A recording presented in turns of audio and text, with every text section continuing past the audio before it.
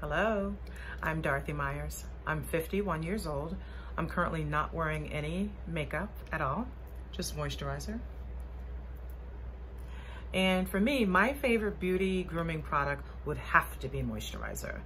One of the things that I love about it is you wash your face, you put your moisturizer on, and you're basically set for the day. It just gives you that nice little glow. Mm -hmm. Well, you do need a, a pop of lip, a lip gloss as well to, you know, make you stand out just a little bit. But also too, one of the things that I really need help with now that I'm in my 50s would have to be something to help me fight wrinkles. Because what happens is when I wear makeup, you, and I smile hard, which I love to do, and you can see my wrinkles clear as day.